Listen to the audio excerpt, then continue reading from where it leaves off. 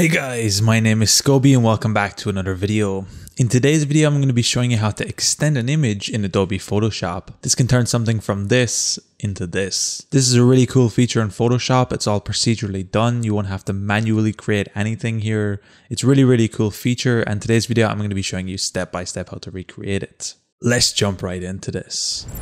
So to do this, what we're going to need to do is open up Photoshop with any image open up at the moment. So what we're going to be doing is extending this image and Photoshop is going to be automatically creating more information and filling out the picture. So to actually do this, what we're going to be doing is coming to the left to our tools. We're going to be looking for the crop tool right here. We're going to be clicking this open. And then on the top, what we're going to be making sure is selected is the content aware checkbox right here. Now what this is going to do is allow Photoshop to content aware create extra space and information. So what we're going to be doing is extending our our image a little bit on both sides using the crop tool. In this case, we don't have to be super accurate how far we come out for this example. But once we have our image extended a bit, what we can do is simply click enter on our keyboard and you will see Photoshop will automatically create and fill information here, which extends the image out. Now in this case, on the right side, it actually does a pretty decent job, apart from the slightly jagged edge here. And on the left, we have a slight issue here as well. However, in the terms of the overall image, this could easily be like this because it's such a blurred out background that this looks really cool. And if you just need to extend your image a little bit for whatever use you're using, maybe on a website or on a video,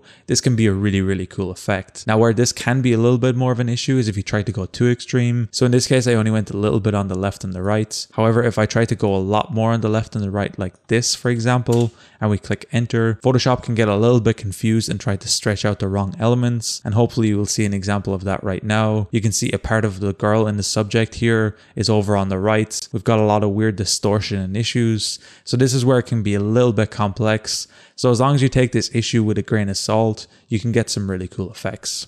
Anyway guys, it's as easy as that to extend an image in Adobe Photoshop.